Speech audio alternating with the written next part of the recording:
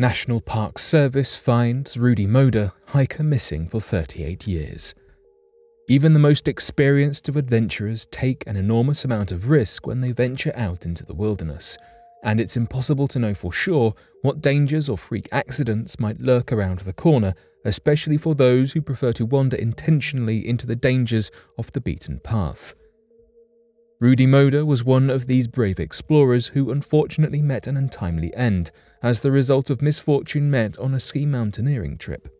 Moder was a West German man living in Fort Collins, Colorado, at the time of his disappearance in 1983. He was an avid outdoorsman and was experienced in navigating the backwoods of the area, so when he embarked on a two to three night ski mountaineering trip, nobody thought anything of it at first. He left for the Zimmerman Lake trailhead near Cameron Pass with intentions of crossing Thunder Pass into Rocky Mountain National Park, but his journey was never completed and his roommate reported him missing when he had not been seen or heard from six days later. Search and rescue teams were immediately dispatched to attempt to locate the missing man alive, but over a foot of fresh snow had recently fallen, greatly slowing the rescue efforts and dimming what hope the team had. The team searched for four days with increasing desperation, and although they were able to find signs of the missing hiker and locate his food cache, some gear, and a snow cave that he had likely made to seek shelter from the snowstorm that had passed through, they were unable to locate the man himself. Eventually, the searches were called off, and although fresh efforts were made once the snow melted in the spring, no further clues or remains were ever found. His family in Germany were left without answers or any form of closure regarding his disappearance, making the mourning process even more painful. However, 38 years after the fateful hiking trip that cost Moder his life, a hiker passing through avalanche debris near Rocky Mountain National Park's Skeleton Canyon area noticed skeletal remains among the disturbed rocks and vegetation. An investigation began to attempt to determine who the remains belonged to, but was closed shortly after its inception due to the National Park Service's redistribution of resources once a massive wildfire began to encroach on the west side of the park. Once the snowmelt retreated from the area the following year, they were able to reopen the investigation and recover the remains, as well as ski equipment and personal items that belonged to Moder. His identity was confirmed by a German forensic coroner, and the National Park Service worked with the German government to quickly repatriate the remains so that Rudy Moder's family could provide him with a proper burial after almost four decades of mystery. Moder's disappearance is a reminder that, although millions of people traipse through national parks every year, at the end of the day, they are nothing more than untamed wilderness, and it's entirely possible for a body to go missing within its depths and remain unrecovered and unknown for 38 years or longer. Morgan Heimer Morgan Heimer was a student at the University of Wyoming, studying English. In the summer of 2015, aged 22, Morgan took a job as a commercial guide for a rafting company, Tour West. It was on an eight day long group trip that he went missing, and devastatingly, he is yet to be seen since. As I am sure you would expect of someone working with a rafting company, Morgan was a strong swimmer, had an impressive working knowledge of the river, and was a seasoned outdoorsman. Despite all these skills under his belt, they seemingly were not enough to keep the students safe on the riverside. The last known sighting of Morgan was on June 2, 2015, by River Mile 213 in the Grand Canyon National Park near to Pumpkin Springs. He reportedly mentioned to the lead guide of the day that he wanted to take a break that afternoon, to have some time to himself. When the lead guide later returned from discussing something with a client, Morgan had left. Simply assuming he had gone on the break, as had been discussed, no immediate red flags were raised by the group. His last sighting was around 4 pm, and he was reported missing by 7:26 pm that very same day. Suspicions had been raised when he didn't return to the group for dinner following their swimming and other activities. At the time, when the search was initially being conducted, people were incredibly optimistic. It's unfortunately all too common to fail to find people when they have gone astray from their intended and planned routes. The rescue teams knew of Morgan Heimer's skill sets and absolutely held out hope. Some said he definitely has the skills and ability to perform the job and be a person we have a high likelihood to find. Following a thorough six day long search of the surrounding areas, many people assumed that he had drowned. Employees, clients, and other members of this group were all interviewed, though there was never any evidence found that anyone knew any helpful information or could have been maliciously involved. So, what happened? Did he slip, fall, and drown? Did he get lost wandering through the wilderness? It certainly seems unusual for the tour guide to not be familiar with the area, or at least not be aware of which areas he does and does not know. Some internet theorists have speculated that he is lost within an intricate network of doorways, passageways, and paths through the Grand Canyon.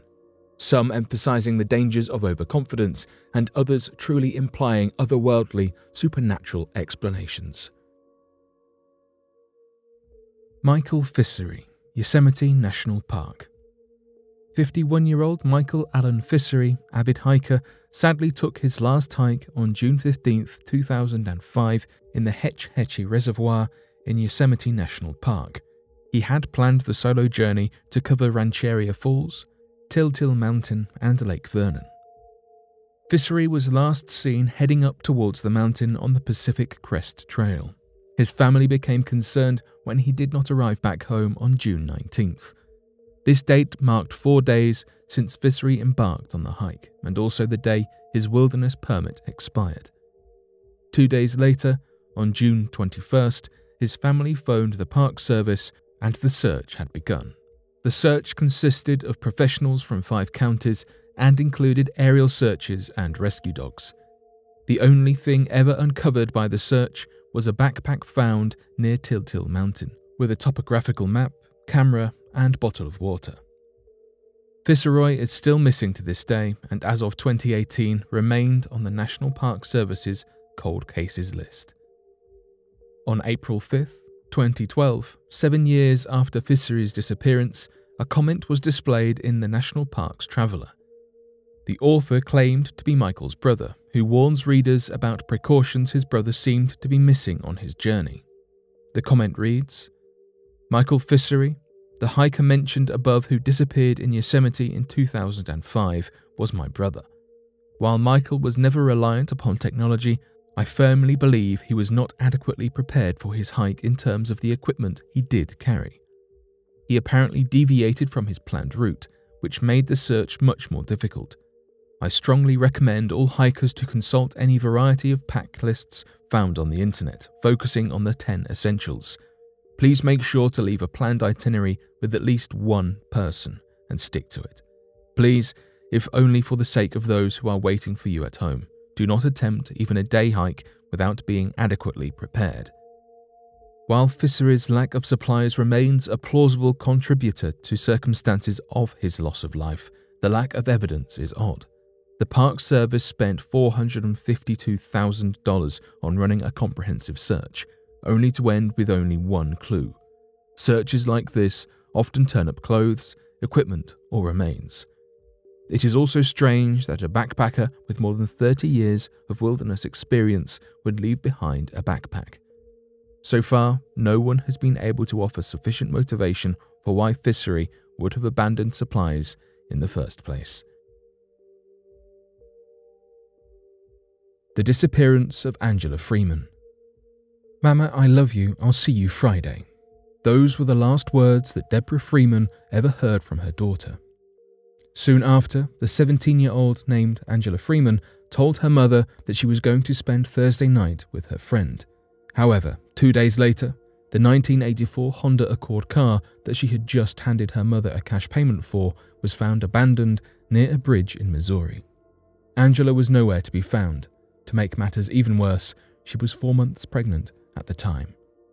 In the beginning, authorities simply shrugged it off as a missing persons case. Even though mobile phones did not exist back then, missing teenagers were bound to show up within a day or two. Yet, that was not the case for Angela. Instead of finding her daughter safe and sound, Deborah found blood on the car instead. In fear, they instantly notified the police. It turns out that what was dismissed as merely transmission fluid, after this, blood was confirmed to be found next to her car. After numerous diver and cadaver dog searches around the area, all that was discovered were her shoes found in two separate areas. Suddenly, this case transformed from a disappearance to a homicide. No one could sit around and wait for her to show any longer. The detectives revealed that Angela was last seen outside of an old Pizza Hut at around 1am on a Friday. Her whereabouts after she'd left couldn't be traced. They suspected that a man who was seen washing his car and hunting near the bridge area was involved, but they did not have enough evidence to confirm anything.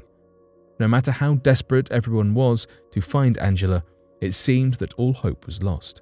It has been decades since she said goodbye to her mother on that fateful day of September 8, 1993. Even though Angela herself was so excited to be a mother, she would never be able to realize that dream. However, people like Police Captain Rusty Keys have still not given up. In due time, Angela Freeman's disappearance might no longer stay a mystery.